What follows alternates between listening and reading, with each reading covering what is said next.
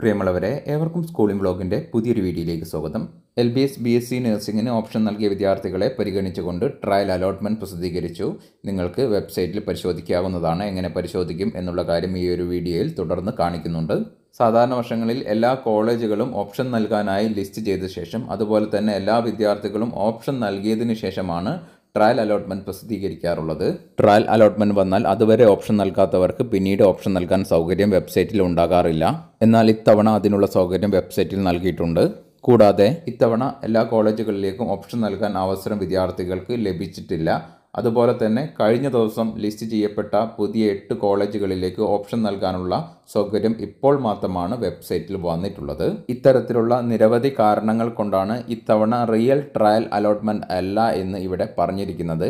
പുതിയതായിട്ട് ചില കോളേജുകൾ എട്ടോളം കോളേജുകൾ വന്നതുകൊണ്ട് ട്രയലിൽ ലഭിക്കാത്ത ചില വിദ്യാർത്ഥികൾക്ക് ഫസ്റ്റ് അലോട്ട്മെന്റിൽ ലഭിക്കാനുള്ള സാധ്യതയുണ്ട്.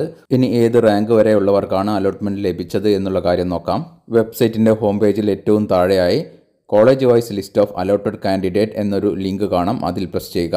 പിന്നീട് വരുന്ന പേജിൽ course B S C nursing എന്നത് സെലക്ട് ചെയ്ത് നിങ്ങൾ ഉദ്ദേശിക്കുന്ന നിങ്ങൾ ഓപ്ഷൻ നൽകിയ കോളേജ് സെലക്ട് ചെയ്ത് നൽകി കഴിഞ്ഞാൽ അവിടെ ഏത് റാങ്ക് വരെയുള്ളവർക്കാണ് ഓരോ വിഭാഗത്തിലും അലോട്ട്മെന്റ് ലഭിച്ചത് എന്നുള്ള ഡീറ്റെയിൽസ് നിങ്ങൾക്ക് കാണാൻ വേണ്ടി സാധിക്കുന്നതാണ്. ചില കോളേജുകളിൽ ചില റിസർവേഷൻ വിഭാഗത്തിന് അലോട്ട്മെന്റ് നൽകിയതായിട്ട് കാണില്ല. അതിനുള്ള കാരണം റിസർവേഷൻ ഓരോ കോളേജ് വൈസ് അല്ല അത് ഓൾ കേരള ലെവലിലാണ് വരുന്നത് അതുകൊണ്ടാണ്. ഇത്തരത്തിൽ ഓരോ കോളേജിലും അലോട്ട്മെന്റ് നൽകിയിട്ടുള്ള റാങ്ക് മനസ്സിലാക്കിക്കൊണ്ട് നിങ്ങൾക്കുള്ള റാങ്കും പരിഗണിച്ചുകൊണ്ട് ഓപ്ഷനിൽ ആവശ്യമായിട്ടുള്ള മാറ്റങ്ങൾ വരുത്തേണ്ടതാണ്. ഫസ്റ്റ് സെക്കൻഡ് തേർഡ് അലോട്ട്മെന്റ് സമയത്ത് നിങ്ങൾക്ക് പുതിയതായിട്ട് ഓപ്ഷനൊന്നും നൽകാൻ സാധിക്കുന്നതല്ല എന്നുള്ള കാര്യം നിങ്ങൾ മനസ്സിലാക്കുക. അലോട്ട്മെന്റ് ലഭിച്ച വിദ്യാർത്ഥികളും ലഭിക്കാത്ത വിദ്യാർത്ഥികളും ആവശ്യമായിട്ടുള്ള മാറ്റങ്ങൾ ഈ റാങ്ക് പരിഗണിച്ചുകൊണ്ട് ലാസ്റ്റ് റാങ്ക് മനസ്സിലാക്കിക്കൊണ്ടാണ് ചെയ്യേണ്ടത്.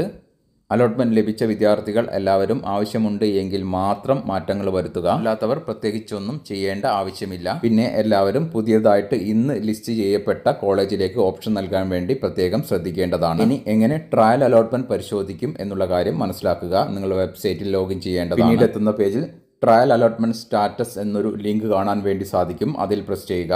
ഈ ഒരു വിദ്യാർത്ഥിക്ക് ട്രയൽ അലോട്ട്മെന്റ് വന്നിട്ടുണ്ട്. ഏത് കോളേജിലാണ് എത്രാമത്തെ ഓപ്ഷനിലാണ് അലോട്ട്മെന്റ് ലഭിച്ചത് എന്നുള്ള കാര്യം ഇവിടെ നൽകിയിട്ടുണ്ട്. ട്രയൽ അലോട്ട്മെന്റ് വന്നവർ അതിലേക്കായി പ്രത്യേകിച്ചൊന്നും ചെയ്യേണ്ട ആവശ്യമില്ല. ഫീ പേയ്മെന്റ് നടത്തേണ്ട ആവശ്യമില്ല. കോളേജുമായോ എൽ ബി എസുമായോ ബന്ധപ്പെടേണ്ട ആവശ്യമില്ല. ആവശ്യമുണ്ട് എങ്കിൽ മാത്രം ഓപ്ഷനിൽ വേണ്ട മാറ്റങ്ങൾ വരുത്താവുന്നതാണ്. മുകളിലെ ഹോം എന്ന ലിങ്കിൽ പ്രസ് ചെയ്ത് കഴിഞ്ഞാൽ പഴയ പേജിലേക്ക് തന്നെ പോകുന്നതാണ്. ഇവിടെ നൽകിയിട്ടുള്ള option registration for first allotment എന്ന ലിങ്കിൽ പ്രസ് ചെയ്ത് എല്ലാവർക്കും ഓപ്ഷനിൽ വേണ്ട മാറ്റങ്ങൾ വരുത്താവുന്നതാണ്. നിങ്ങൾക്ക് പുതിയ ഓപ്ഷൻ നൽകാം. പഴയ ആദ്യം നൽകിയിട്ടുള്ള ഓപ്ഷൻ ഒഴിവാക്കാം. അതുപോലെ നൽകിയിട്ടുള്ളവയുടെ സ്ഥാനം മാറ്റാം.